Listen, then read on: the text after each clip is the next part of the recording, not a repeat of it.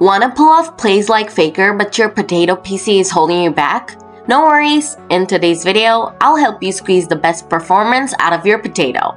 Let's start. The first thing you need to do is turn on Enable Low Spec Mode in League Client. Then select Always for Close Client during game.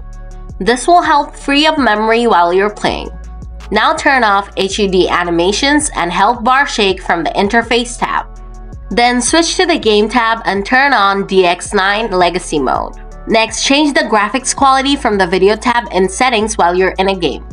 There are 7 presets to very low to very high. You can also individually adjust the quality of different aspects. Just play around with the settings a bit and figure out what works best for you. In the same tab, you'll find the hide eye candy, just turn it on. Then scroll down a bit and switch off anti-aliasing and wait for vertical sync. With these two off, you should see a massive FPS boost. Lastly, set the priority to high for League of Legends from the task manager. By now, you should be getting good performance in League of Legends. If you enjoyed the video, a like and subscribe would be awesome. And if you have any tricks for improving performance further, share them in the comments below. Thanks for watching!